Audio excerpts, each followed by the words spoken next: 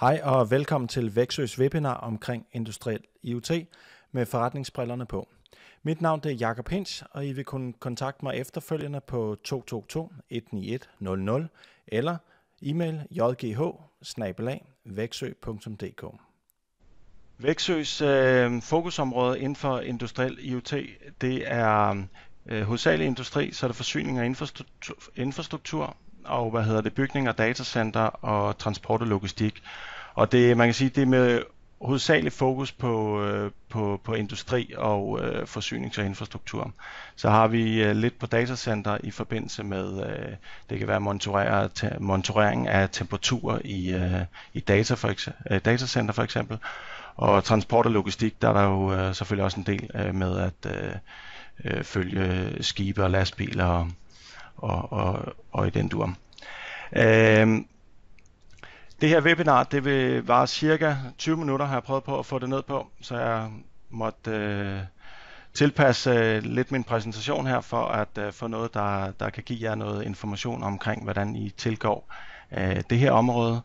Øhm, øh, og hos, øh, fokus øh, område på det her, det er vores øh, Ivon-løsning, og som I ser i baggrunden på det her billede, så er der en masse orange prikker, og hver af de her prikker, det er mindst en eller flere øh, Ivon øh, rundt omkring i verden, der er koblet op til øh, HMS øh, øh, cloud-infrastruktur Talk2M, og på den måde kan bruges til remote access og, øh, og dataopsamling. Så agendaen for i dag, det er, hvordan kommer I i gang med, øh, med øh, industriel IoT? I er måske allerede i gang i en eller anden form. Øh, kunne måske godt tænke sig at se, hvordan øh, man kan gøre det på, øh, på en anden måde. Øh, og så er det, hvordan at man får, øh, får gjort det her om til, til noget, øh, til noget man, kan, man kan lave penge på, både som øh, end, øh, slutbruger og som øh, maskinbygger. I dag der har man, øh, eller I har typisk jeres øh, maskiner på den ene side her, som vi ser der er illustreret med, no, med nogle maskiner og nogle, øh, nogle styringer og noget, noget Rockwell styring her. Og det øh, vi så kommer med med, øh, med Evon, det er øh, den øh, remote øh, connectivity del. Øh, det vil sige så, at man har en, øh, en gateway på sin øh, maskine, som er koblet op til, øh, til, til internettet og nogle services. Og de her, hvad hedder det, services, de kan jo så bruges til at monitorere øh, maskinen, og øh, man kan koble op til den øh, remote med VPN-adgang og sådan, og det stiller vi øh, med, øh, med HMS gratis til rådighed med, øh, med Talk2M. Så vores øh, Talk2M Cloud Service øh, med Ibon, den er, den er gratis at anvende, og, øh, og man kan så også bruge den i forhold til, øh, til datadelene, men man har også mulighed for at øh, hvad hedder det, bruge øh, en vifte af tilstødende produkter til, øh, til, øh, til Evon-routerne øh, for at lave sin integration og sin dataopsamling endnu bedre. Så man er ikke tvunget til at blive på, øh, på Evons platform. Man kan øh, forbinde til andre cloud service, egen datacenter. Øh, man kan koble op til stort set alle øh, PLC-typer og sensorer, der er på, øh, på markedet. Så det gør det jo et utroligt stærkt kort til et utroligt stærkt kort. Hvis I øh, kigger på, øh, på billedet her omkring øh, øh, i, i det blå felt, hvor I ser de to router, så har vi øh, i, øh, i venstre side øh, vores Ivon Flexi router, som det her webinar vil handle hovedsageligt om, og øh, i højre side vores øh, Ivon Cozy. Øh, Ivon Cosin er en, øh, en router, som er bygget op hovedsageligt til VPN-adgang. Den har et øh, digitalt input, som man kan bruge til at sende en alarm med, øh, sådan et andet digitalt input, man kan bruge til at åbne og lukke for, for, øh, for VPN-forbindelsen, hvis man ønsker ud på fabrikken at, øh, at begrænse den her adgang, der er til, øh, der er til internettet. Så har vi vores øh, FlexiRouter, som er i venstre side, som er en modulær opbygget øh, router, som man kan øh, tilknytte øh, forskellige services til, og man kan ovenikøbet også øh, bygge sine egne øh, små kodemoduler og, og lægge den her øh, Evon Flex Router. Hvis vi går videre og kigger på, hvordan, øh, hvordan ser det så ud i dag i forbindelse med, øh, med levering af en maskine? Jamen, typisk så har en maskinbygger en maskine, de leverer, og øh, den ser, det ser ud på den måde, at man leverer et produkt, og så leverer man tilstødende noget service til det her produkt, når kunden den spørger efter det. Og det vi ser, at trenden den går mere og mere over til, øh, det er, at man øh, leverer et produkt, og så leverer man en servicepakke til det her produkt, der gør, at maskinen den får, øh, får længere levetid, kunden får højere oppetid, og øh, det giver et, øh, et helt andet forhold mellem øh, hvad hedder det, maskinbygger og, øh, og slutbruger. Og øh, mit budskab i det her er, at det faktisk er en win-win for alle parter, fordi at man får øh, traditionelt vis, der har man en, øh, en, øh, en oppetid og en, øh, en øh, hvad kan man sige, en effektiv produktion, som, øh, som er høj i starten, og, øh, og så daler nedad med tiden, så maskinen den bliver slidt og, og ikke ligefrem er, er, måske er vedligeholdt øh, på den måde, at der var bedst for maskinen. Øh, hvis man binder det her op med en, øh, med en serviceaftale øh, mellem øh, slutkunden og maskinbygger, jamen så begynder man at få den øh, fordel ved, øh, ved det her, at man har et, øh, et, øh, et samarbejde omkring den her maskine, øh, så det, det giver en fordel for både øh, slutkunden og for maskinbyggeren. For maskinbyggeren har man det på den måde, at man har en aftale, der gør, at man snakker løbende sammen med sin, øh, sin kunde, og øh, fra kundens side har man en maskine, som, som, som kører øh, så godt som det overhovedet er muligt øh, hele tiden. Man har måske ovenkøbet også mulighed for at udvikle den endnu bedre øh, i løbet af det her, øh, den her periode.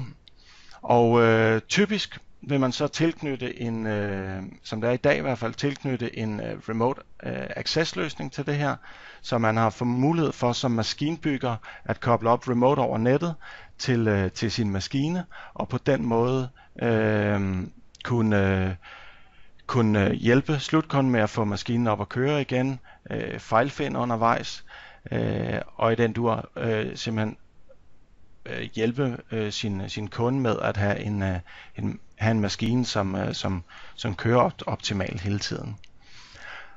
Når man så til, øh, tilbyder en, øh, en øh, serviceaftale, så er det nærliggende, at man også begynder at få data hjem fra sin maskine, som, øh, som gør for eksempel, at man kan forudse, øh, hvornår maskinen den skal have vedligeholdelse. Det kan være, at man sammen med sin slutkunde kan planlægge øh, et, øh, en vedligeholdelse af, af maskinen.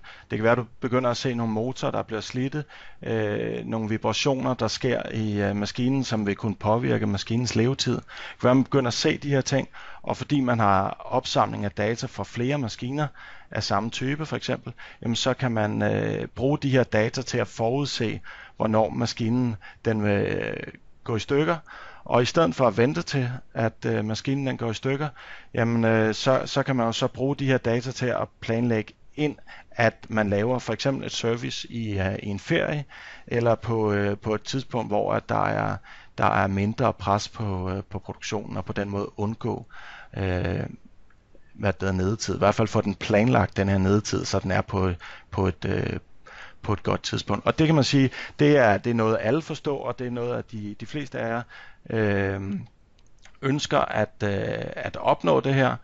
Men hvordan gør man det her så? Ja, det kan der være flere måder at tilgå. Vi har en måde at gøre det på. Jeg har nu 10 års erfaring med at snakke med forskellige kunder i, øh, i Danmark omkring det her område, og det er så nogle af de ting, jeg godt vil dele med jer, hvor jeg ser, øh, hvor jeg ser, hvor de her problemer de begynder at opstå. Altså i implementation, implementationen af det her. Så mit budskab, mit budskab det er at øh, komme i gang med det her, begynde at integrere øh, en eller anden form for remote access og dataløsning på jeres maskine, om det er vores eller en anden. Øh, det, det er så hvad det er. Men øh, de første skridt i det her for mig, det er at øh, definere nogle, øh, nogle delmål og, øh, og komme i gang med de delmål. Og øh, som jeg har listet her på skærmen, så øh, kan det være, at øh, man ønsker først at komme i gang med Remote Access. Hvis I allerede har det, så skal I måske til at tage næste skridt. Men altså man får en måde, øh, hvor man kan koble op og hjælpe sin maskine, øh, hjælpe sin maskine og sin slutkunde via internettet, øh, så man ikke skal køre ud til kunden hver gang. Øh, man vælger måske at kombinere det her med en eller anden form for, for dataservice, hvor man begynder at logge nogle værdier, øh, og de her værdier, dem kan man så analysere. Det kan gøres på, øh, på flere forskellige måder. Det kan være, at I har et øh, skattesystem i dag. Det kan også være, at det er en mindre maskine, hvor man har et øh, HMI-panel, øh, hvor man begynder at gøre de her ting, eller har allerede gjort de her ting, og bare koble op til det remote med en, øh, med en remote-adgang. Det kan også være, at man vælger at øh, gøre det direkte i sin, øh, sin Evon. Øh, hvis man har Evon, en Evon Flexi for eksempel, så kan man lave et, øh, et indbygget dashboard i det her, som kan vise øh, de her data. Det næste er, at øh, når I så begynder at få øh, noget erfaring med det her, det er, at man begynder at evaluere tingene øh, og begynder at øh, kigge på, hvad de næste delmål det kunne være. Og øh, typisk så vil, øh, så vil man stå der og kigge på, øh, okay, skal vi begynde at få de her data hjem, eller skal vi gøre det lokalt? Og det, øh, der er nogle, øh, tanker, I skal stille jer selv øh, der. I skal begynde at tænke over, hvordan øh, jeres øh, maskiner er det, hvor mange data er det, I, øh, I skal bruge øh, for at kunne, kunne lave de her ting. Skal I kigge på, om det er, øh, hvor hurtigt skal de her data komme ind? Skal, er det en, øh, en, en løsning, vi kan lave, hvor at øh, vi er nødt til at logge dataerne helt lokalt og øh, annoncere dem lokalt. Det kan være, at det er noget high speeding, hvor I skal ned øh, på nogle millisekunder. Jamen, så er det måske ikke lige med et Evon-modul, I skal gøre det. Men ligger I øh, for eksempel med 1 sekunds datalogninger derover, jamen, så kan I måske bruge en Evon og bruge den her Evon til at sende dataerne til, øh, til en cloud service eller til jeres eget datacenter. Så her der skal I øh, næste sta- øh, skridt, der skal I begynde at kigge på øh, skal vi lave øh, datavirtualiseringen stadigvæk lokalt, eller skal vi have den op i, øh, i noget datacenter og lave øh, visualisering der? Skal det være i jeres eget datacenter, øh, eller skal det være hos øh, en eller anden øh, cloud-udbyder? Øh, og det er jo nogle øh, hvad der forhold, I må tage i forhold til, hvordan jeres kunde ser på de her data, og hvordan I selv ser på det. Vi kan hjælpe jer med begge løsninger, både at få dataen til, øh, til cloud, og vi kan hjælpe jer med at få øh, dataen til jeres eget datacenter. Så i den del af det, der, der er det sådan set op til jer, hvad, øh, hvad I ønsker der. Vi kan i hvert fald hjælpe jer øh, stort set hele vejen der. Øh, så skal I til at kigge på, skal I have hjælp udefra, eller har I øh, indhouse de her øh, viden og kompetencer, der skal til? Øh, eller har I brug for noget uddannelse i forhold til det her? Og der kan I spare med os omkring, øh, hvordan øh, I kan komme til de her, øh, øh, den her viden omkring, øh, hvad man kan bruge af løsninger, og om det så er noget, I selv har, øh, noget viden I selv har, der kan bygges på. Det kan meget vel være, at, øh, at det bare er noget, der lige skal bygges på, eller man skal have et par FIFA på et idéer til, hvordan man kommer videre med det her. Og der har vi øh, et øh, webinar i slutningen af måneden den 27. i, øh, eller ikke et webinar, et øh, kursus den 27. i, øh, i Aarhus og den øh, 28. i Odense, som I er mere end velkommen til at deltage i. Det er et halvdags seminar, og det er, det er om formiddagen. Så når I har kigget på de her ting, begyndt at få det ind under neglene og, og komme i gang, jamen så, så næste spørgsmål, det er jo, okay, øh, hvordan gør vi så det her? Hvordan, øh, hvordan kommer vi i gang? Jamen, vi har så vores Evon Flexi Router, og, øh, og den giver nogle muligheder for at øh, kommunikere med, øh, med jeres industrielle udstyr, PLC'er, SCADA-systemer, HMI-paneler. Øh, og det er en del, som man kan sige, HMS og Ivon har taget sig af, og vi bakker fuldt ud op omkring. Så til det her, der er der så nogle øh, solution partnere, og det kan være alt fra øh, øh, systemintegrator i Danmark, som har sat sig ned og, og hvad det hedder, bygget nogle løsninger, øh, der passer til Ivan. Det kan være ude øh, rundt omkring i verden, øh, som de har gjort det. Det kan være systemer som, øh, som SAP, som laver integration øh, til, øh, til øh, Ivons løsninger. Og øh, det kan være andre øh, hvad der, cloud-løsninger eller datacenter-løsninger, som, øh, som giver den her type af integration, som, som Ivon måske ikke øh, kan levere. Øhm, Ivon har så indbygget øh, PLC-driver, og øh, den har så den her IO-server, der gør, at den kan snakke med, øh, med de forskellige PLC'er på markedet, hvilket gør det her til et utroligt stærkt kort. Så hvis I ser Ivon som, øh, som et SCADA-system eller som HMI-panel, som, øh, som forbinder til øh, PLC'en med, øh, med den øh, protokol, som øh, hvad det hedder, PLC'en stiller til rådighed.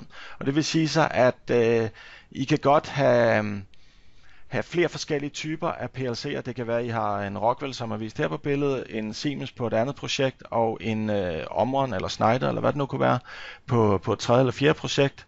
Men I ønsker en, øh, en sammenlignet eller en samlet og strømlignet måde at øh, få de her data videre til jeres datacenter, jamen så laver I en øh, profil i jeres Ivon øh, med de her tags, øh, og de peger sig ned på, på tags i PLC'en og der kan I så tilknytte, øh, tilknytte det her datalogning til, som gør, at I, øh, I begynder at kunne logge dataerne i Ivonen og, øh, og visualisere dem. Og øh, det gør man øh, på samme måde, som man gør i et øh, HMI-panel. Man definerer tag og definerer stien ned til sit, øh, sit tag i PLC'en, øh, og definerer, hvordan den skal logge de her, de her tags. Øh, og alt det, det har I indbygget i Nivon og i, øh, i Nivon Flexi, når I, øh, når I har sådan en. Øhm, så dem, der allerede har en øh, Flexi i dag, det er simpelthen bare at gå i gang med, med at øh, tilknytte de her ting til. Man kan så lave en... øh, det næste spørgsmål, der typisk kommer, det er, okay, nu har jeg lavet de her, den her løsning i uh, en Ivon, hvordan får jeg den videre til uh, næste Ivon? Jamen, du laver en uh, backup-fil af Ivon, og den uh, kan du så downloade til, uh, til din næste uh, Ivon i det næste projekt. Og er det en anden PLC, jamen, så kan det være, at du bare lige skal ændre stien til, hvordan den får de her, de her data ind. Når man så øh, har de her data og godt vil tilgå de her data, er det måske ikke nok, at man tilgår dem øh, lokalt. Jamen, så kobler man måske sin løsning op mod øh, Talk2M, øh, som er Ivons øh, gratis øh, service øh, til at få access øh, til, øh, til sin Ivon og til sine maskiner. Og øh, med, med Talk to M, jamen, der har I både mulighed for at få access til Ivon, men I har også mulighed for at få access til, øh, til netværket bag øh, og der har I mulighed for at access hele det netværk, hvis I, øh, hvis I, hvis I ellers selvfølgelig åbner op for det. I har også mulighed for at begrænse øh, accessen til, til PLC-netværket. Øh, Talk2M øh, fungerer på den måde, at Ivon kobler op indenfra, ud gennem firewallen og op til TalkToM. I som tekniker kobler op med jeres øh, PC øh, til øh, TalkToM-servicen med VPN-adgang og øh, vælger den maskine, man vil koble op til, og øh, så har man så access kun til den her maskine, og ikke til alle andre øh, maskiner i, øh, i det, øh, den konto, man har. Og øh, I kan øh, lave adgang til øh, alle de teknikere, I ønsker. I kan lave øh, konfigurere alle de events, I ønsker. Øh, og på vores gratis konto er det en af gangen, der kan koble op til, øh, til en maskine og man har så mulighed for at tilknytte det her til en pro-konto, hvor at man kan lave regler, øh, lave regler for, for sine teknikere, øh, så man kan gruppere dem, og øh, flere gange har mulighed for at få access til en eller flere, flere events. Øhm, og det gør jo så, at hvis I begynder at logge jeres, øhm, øh, jeres da, eller hvis I har logget jeres data i jeres skattesystem eller jeres HMI, jamen, så kan I tilknytte det. Hvis I ikke har HMI, eller det er data, som øh, I måske ikke øh, ønsker at have et HMI eller skattesystem, jamen så kan I logge det direkte i Ivon. I har mulighed for at øh, opbygge en øh, applikation i, øh, i Ivon, som hedder M2 Web, og i M2 Web, jamen, der har man mulighed for at kunne gå ind og øh, både lokalt og remote og se, øh, se trends og sine, øh, sine logfiler. Øh, så, så man kan sige, det er måske det første skridt i øh, en måde at lave noget industriel IoT på, det er at man kobler op til det. Øh, det næste øh, skridt i, i den her forbindelse, jamen, det er jo så, at man øh, typisk vil have de her data fra PLC'en til at blive sendt automatisk afsted fra sin, øh, fra sin Evon til et datacenter. Og øh, her er det så, jeg er inde på, at I skal gøre op med jer selv og med jeres kunder, øh, hvordan I ønsker at øh, opbevare de her data. Skal øh, dataerne sendes til, øh, til jeres øh, eget datacenter, eller ønsker I at, øh, at få det her op i en øh, cloud service? Det kan også bare være, at I ønsker at øh, have jeres egen øh, hvad det hedder, um, dataopsamling og visualisering i, øh, i en cloud, øh, som måske ikke er jeres eget datacenter, men er en, øh, en hosted løsning ude, men hvor I stadigvæk selv styrer det. Men det er fuldstændig op til jer. Vi stiller en infrastruktur til rådighed, øh, som kan sende dataen til cloud. Det er så smart lavet det her, så hvis man bruger, øh, hvad hedder det, Evons øh, M2 øh, øh, M2 Web API og, og Data Mailbox, jamen øh, så har man mulighed for at øh, ikke kun sende dataen, når maskinen den er online, som man øh, typisk gør med øh, for eksempel øh, MQTT. Jamen der vil maskinen sende dataerne, når den er online. Med øh, Data Mailbox og Talk2M's API, jamen der har I mulighed for at øh, selvom at maskinen er afbrudt for øh, får access til, øh, til Talk to M, jamen så næste gang den er connected til Talk to M, jamen der vil den så sende de her, de her data, den ikke har fået sendt. Øh, og typisk så sætter man Evonen op til at sende for eksempel data hvert minut, eller hver 10 minutter, eller, eller en gang om dagen, eller på en event. Det er op til jer, hvordan I ønsker, de her data, de skal komme afsted. Men man kan sige, hvis at øh, øh, jeres fabrik, eller den fabrik, maskinen står på, altid er forbundet til, øh, til internettet, og der altid er en stabil forbindelse, jamen, så er det måske fint nok. Men det kunne være, at øh, jeres løsning, det var øh, koblet op mobilt, eller det kunne være, at det var ude på et skib, så at øh, skibet for eksempel kun har access til, øh, til et netværk, når den er i havn, jamen så kobler den måske op med 3 eller 4G til det her netværk, når den er kommet i havn, og sender sine, øh, sine data afsted. Øh, så, øh, så det, det, er en, det er en let måde at få, øh, få integreret sin, øh, sin Evon med, øh, med en eller anden form for cloud-løsning. Det er at sende data til Data Mailbox, have dem midlertidigt stored i, øh, i Data Mailbox og hente de, her, hente de her data til en cloud service. Og der er forskellige former for implementationer der. Der er for eksempel SAP, som øh, flere af jer kender, som har en, øh, en adapter, der kan hente data direkte for, for Data Mailbox. Men der er også flere andre løsninger på, på markedet, som, øh, som henter data direkte i Data Mailbox. Og, øhm, og på den måde giver mulighed for, at I kan få, få, få access til, til de her data. Ivon, øh, Ivon kan, øh, alt efter hvordan man sætter sin, øh, sin læring i Ivon, så kan den buffe op til øh, 1 million data points, og det fungerer som en FIFO. Så, øh, så det, der først kommer ind, det ryger også først ud igen. Så hvis I ikke forbinder den til cloud, jamen, så vil den stå og logge de her data hele tiden. Øhm, og, øh, og I vil kunne monitorere de, de sidste data, der er, um, der er gemt i den her Evon. Er den, to, er den forbundet til øh, uh, Talk2M eller en, en anden løsning, jamen så vil den kunne sende de her data øh, løbende, øh, stadigvæk lave dem øh, hvad der er, tilgængelige lokalt, men sende dem løbende til, øh, til den her service, når, når Evon ellers har en, uh, en internetforbindelse. Og øh, jamen, hvordan kommer man så videre med det her, hvis man bare øh, vil let i gang med det, øh, og ikke måske ønsker at øh, bygge en stor, stor cloud-løsning på det, jamen så kan man bruge en, øh, en agent øh, som øh, Fusion for Data Mailbox, man kan lægge på sin, øh, sin, øh, sin server eller på sin PC. Øh, så kan man installere en, øh, en, en database, som i det her tilfælde er, er Timescale. Øh, som er en timeshares database, og på den måde så kan der være mulighed for at, øh, at gå ind og kigge på, øh, på, på data i for eksempel i et, øh, et tidsvindue, så det kunne være, at man vil kigge på, på data for den her maskine i øh, den given maskine i de sidste 14 dage, den sidste måned, eller det kan være, at man vil kigge på nogle bestemte tag i, øh, i den her øh, tidsperiode. Dataerne er altid gemt med, øh, med timestamp, så I har mulighed for at øh, mulighed for at gå ind og, øh, og kigge på dataerne i, i forhold til, øh, til tid. Og det giver jo selvfølgelig mening, der er data, de, de jo helst skulle blive afspejlet i forhold til en tid. Når I går ind og kigger på, øh, hvordan I logger jeres data, så skal I også begynde at kigge på, skal vi logge på en event på de forskellige tag, eller skal vi logge alle de her tag, I ønsker på samme tid? Øh, hvordan, øh, hvordan vil vi øh, hvad der logge vores data, og i forbindelse med jeres, øh, med jeres visualisering vil det jo så også øh, afspejle, hvordan I logger.